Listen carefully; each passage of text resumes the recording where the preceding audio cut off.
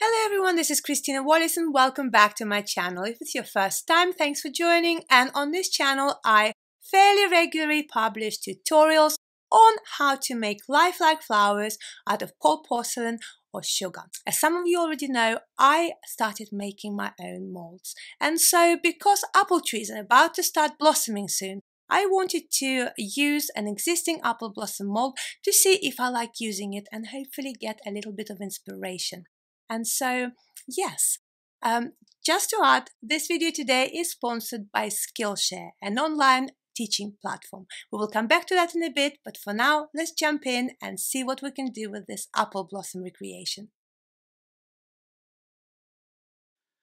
Okay, so today we're going to start our flower with making the middle for the little apple blossom. Here's the wire, I'm going to cut it at an angle.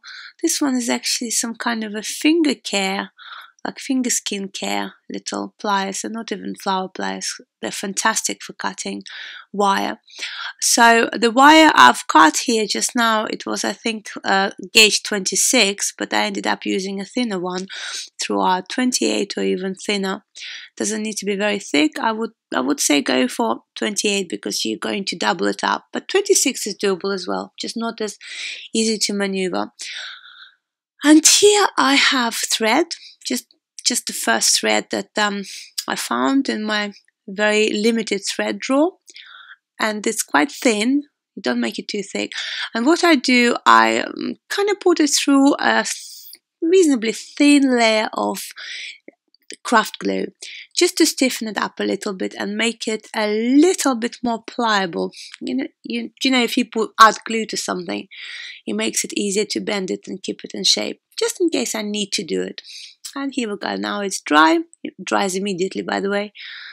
And um, yeah I'm rather liking it how easy this whole process was. And now I'm going to loop it over my two quite large fingers 10 times. So if you have very thin, delicate, and wonderful fingers, maybe use three fingers. I don't know, play it by ear. And also depends on your uh, on your veiner as well and on how large you want to keep your petals. So here we go. So I've looped it and now I'm going to double up my wire exactly through the middle. Right, here we go. Just like so.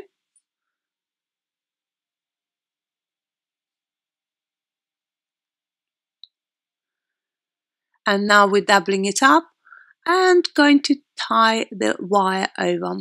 So you're going to be covering it with either flower tape, which is what I ended up doing, even though normally I finish it off as, per, as for the cold porcelain. In this case, it worked out to be a very long video, so I ended up finishing it off just with um, flower tape, like the sugar flowers.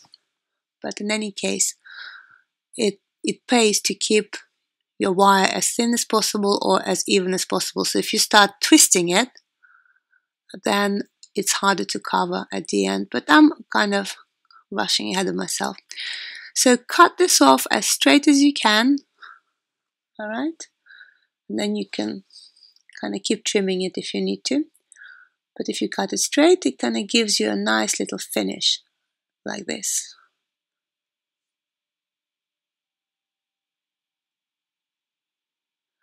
Yeah, this process is very, very easy. It's You can make it thicker, by the way, if you do more loops, but um, this seemed plenty enough. And in here, I'm just securing it at the bottom with a bit of cold porcelain, nice and easy like so. Alright. And again, this one is just the same craft glue. It's quite thin, if you wanted to be to set quicker that glue you could dry it out a little bit and then you separate these little strands with um, with a needle and voila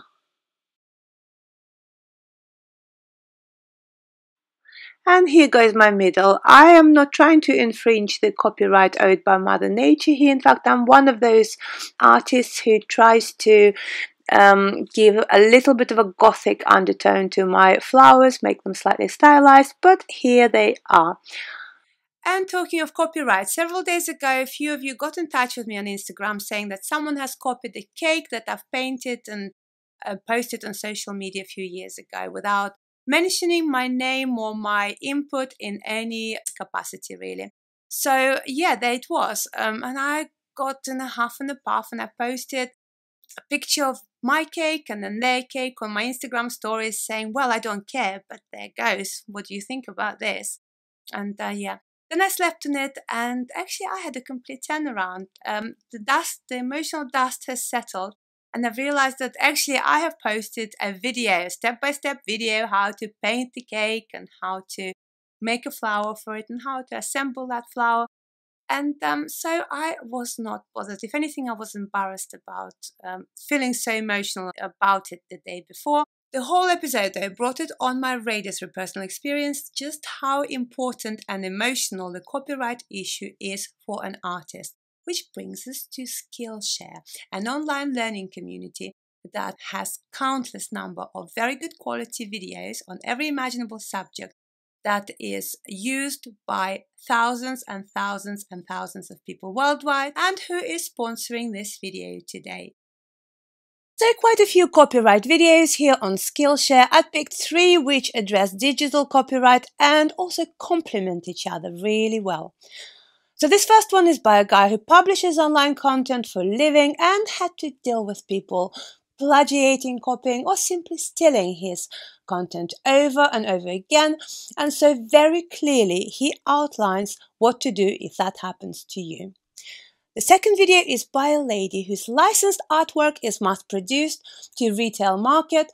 So that's her slant on copyright, which I find quite fascinating in itself. But also, she brings up a very interesting aspect of copyright, where someone in error or maliciously accuses you in infringing on their copyright, basically saying that it's you who is copying them when that is in fact not at all the case. And then she addresses how to protect yourself from such a situation. Last but not least is short but very useful course packed with advice and guidance from the lawyer who is currently practicing copyright law in England and Wales. So as you can see, Skillshare goes beyond simply saving you time by compiling and condensing and well presenting the already existing free information. It also gives you an access to um, a specific information that could be very, very useful and not necessarily available out there at such an affordable price. Today, Skillshare is offering first 500 of my viewers two months free subscription to its services. Absolutely free. If you want to sign up to this generous offer, you need to go to the link below and sign up using that. And depending on the type of subscription you take out, the prices begin with mere £7 a month. Okay, so on this occasion I've decided to add a little bit of cellulose based clay to my cold porcelain which is FMM Fun Clay. This one is the same as Deco Modena Soft. It makes the mix whiter and also more responsive to veinings which is the idea for me to try out a vein and see if I like using veinings on such small flowers. So I need five petals for each little blossom and I'm going to uh, make them freehand. I think it would be nice to show the freehand way of making them and I'm not a huge freehander um, at any rate and yet I've managed to do it so yeah it's available this simple technique virtually to anyone really.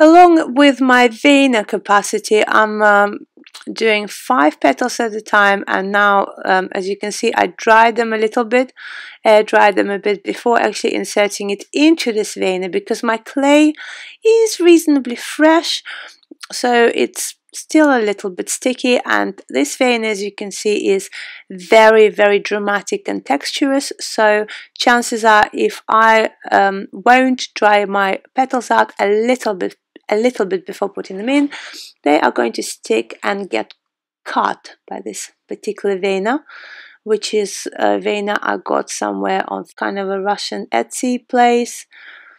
And uh, yeah and I'm dying to recreate it.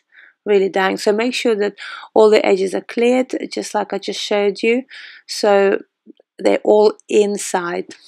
I mean my freehand was not amazing so I just kind of stick it in and would make them come out looking really squished up you could get tidier with it but then you probably would then need cutters or maybe even weighing your individual portions for each petal. I'm not sure. I haven't done any weighing, weighing, weighing, whatever for any of the petals so far. I'm sure I will arrive to that madness some point in my flower career.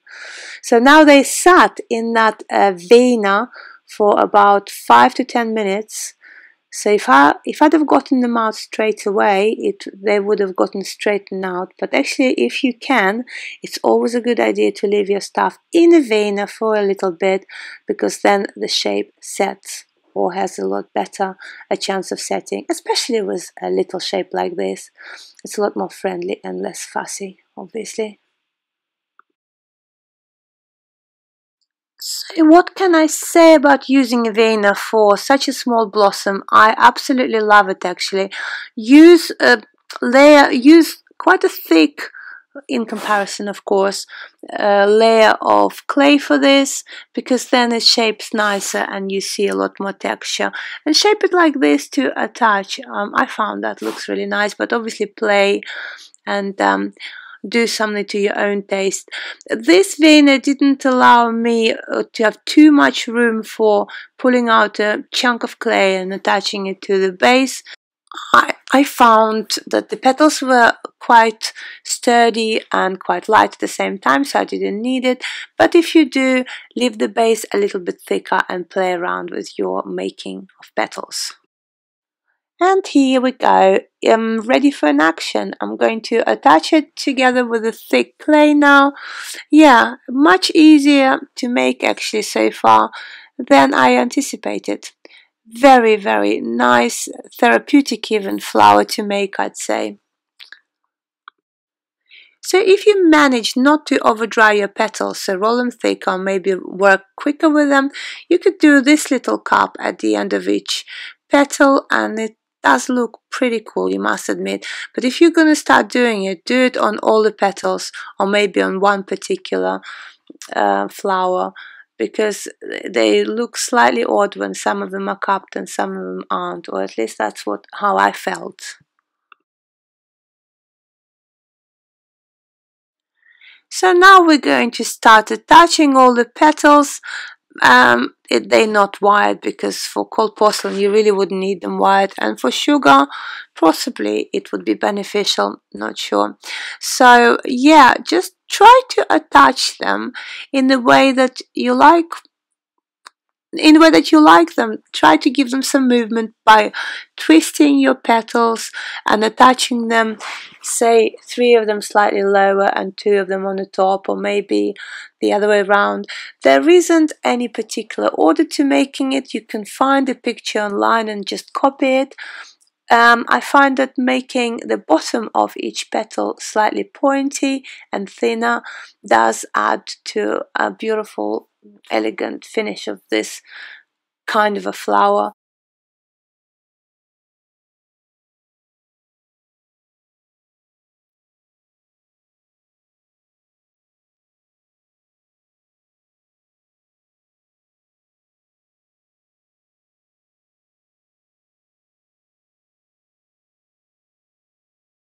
So yeah, because I've left uh, the petals in the in the mold uh, while I was making the next lot of petals or maybe the middle, something like this, about for about 10 minutes.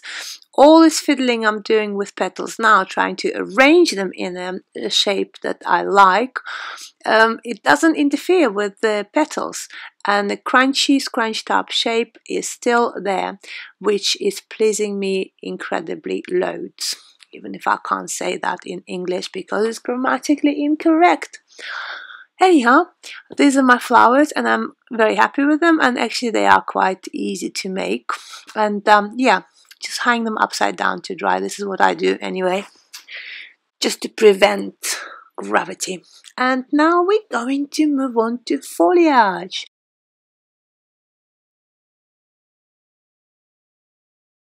So if you look at the finish of apple leaves, you see the serrated edge. It's a lot finer than rose, for example, as in this metal one. And even though this particular cutter, it was a rose cutter that I've used uh, for teaching in V&A. You know, I don't know if you've seen, remember that picture, but yeah, there was, there was a rose with two rose leaves. But I think it would suit for apple leaf really, leaf really, really nicely here. So this is what I'm going to use.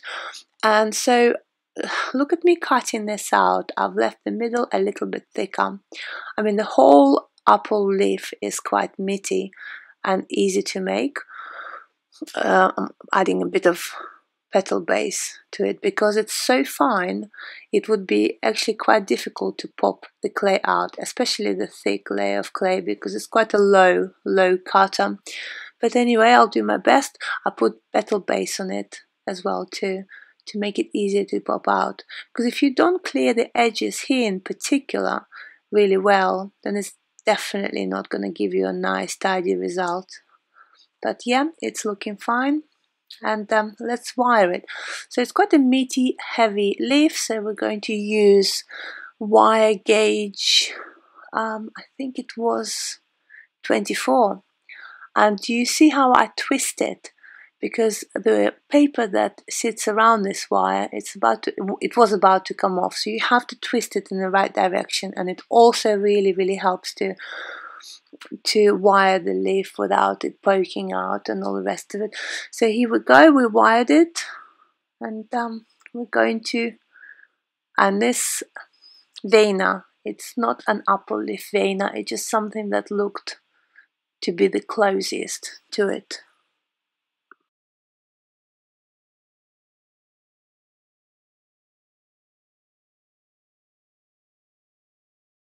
So it's very, very important to align your leaf correctly uh, throughout the veiner, especially on a veiner like this, which doesn't have a boundary around it, so it's likely is likely to move from place to place. But I am going to um, do some troubleshooting on how to correct some leaves if they didn't get vein veined properly or precisely as precisely as you'd like them to.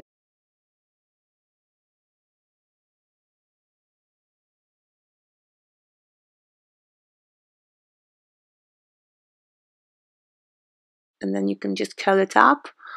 And once it's curled in the shape that in a shape that you like you could dry it on a foam.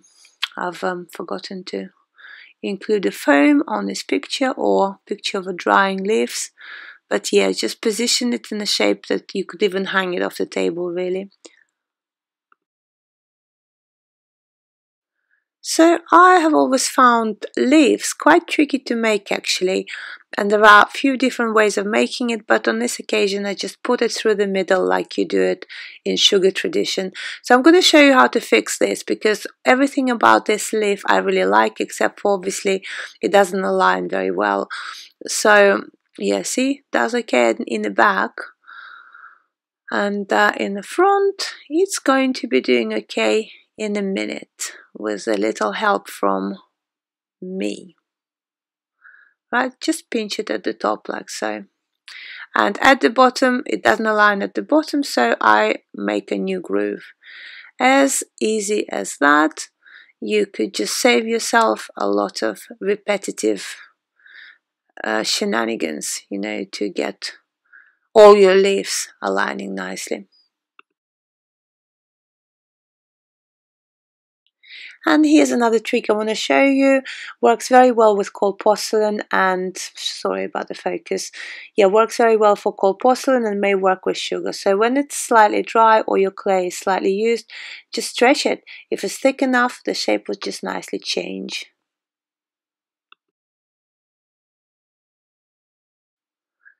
And here I'm going to make some calyxes throughout for all of my uh, flowers, about six flowers, not that many.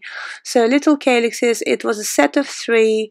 I have no idea. It was one of those makes that a few years ago they were everywhere on eBay, probably still are. And I never had any use for it until now. So I'm very pleased I've kept them because I have thrown away quite a few pieces of my equipment which I didn't like anymore. So here we go. The clay is slightly on the dry side. I left it sitting around for about 5-10 minutes and now I'm just curling it in. You could use PME tool for this. I have used metal tool because it tends to stick to cold porcelain a lot less. You can pinch the very ends or leave them roundy and dry them um, in a 3D shape so that when you attach them, they look nice. You'll see it in a minute. But yeah, make sure you make little holes in them because otherwise it would be a lot harder to thread them through. And here we go. It's um, little baby flower and it has its own calyx. Isn't it cute?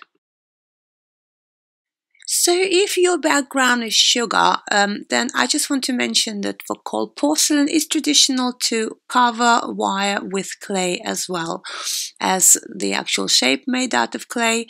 And so I'm going to demonstrate how to uh, cover mini pieces like this little bit of stem that is coming out of the leaf and then goes into the main stem because this video is getting quite long and so I am not going to be able to cover making the stem, covering the stem the main stem uh, with clay because that's in itself is a whole video's worth kind of work and I might make a separate video on that but I will show you the principle of um, covering uh, wire with clay just so that I show off this nice little element of working with cold porcelain for those of you especially who haven't seen it before.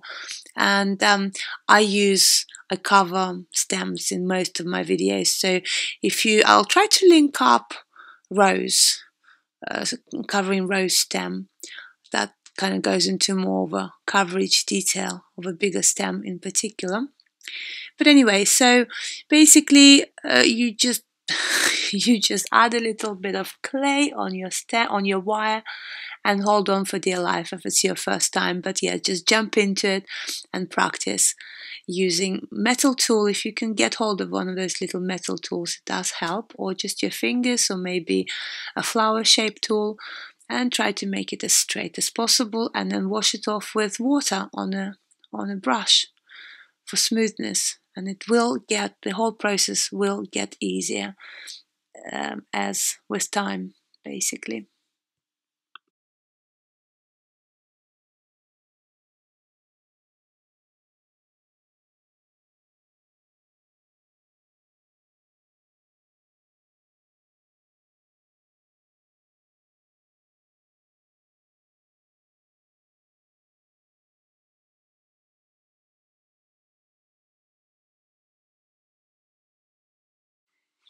So to add color to my leaves, I use oil paints. They're not smelly, they're very nice to use and actually the brushes you can just wash them off with with a bit of soap. Don't be afraid to use them. Uh, oil paints are beautiful for some effects, um, including this really. I think that foliage in this particular composition it's really it really is half the battle. And this particular technique, when you use the brush to just apply a sparse amount of paints, is called dry brushing, quite predictably. And yeah, so you do keep the brush quite dry with most of the colors, especially if you add colors to to petals but for something like this uh, for leaves uh, because the background is quite light I, spe I, specifically kept it light so that I could see the contrast on the back but this paint is it happened to be see-through so it has a square that's clear so it doesn't cover the color completely and I do quite like that but um, I had to add a little bit more color to kind of compensate for it and now I'm going to just add slightly darker colors at the bottom just to add a little bit of accent to my leaves it's very basic nothing sophisticated just slightly darker colors uh, which um, which go at the bottom of the leaf to kind of mimic shade, I suppose. So if you want me to list all these colors, do please leave a comment in the comment section and then I can take them out and list them. It will give me a little bit of motivation. Now this one is spray to spray your paints when you've applied them to leaves. Okay, well, simply because oil paint doesn't dry very quickly and that really helps. And here I'm using just a clear glue on the inside, although I've demoed clear glue, on the inside a thin layer of um, the white uh, white glue. You know the craft glue would probably work better because this clear one didn't didn't hold the fluffy bits very well. When it's dried, some of them fell off.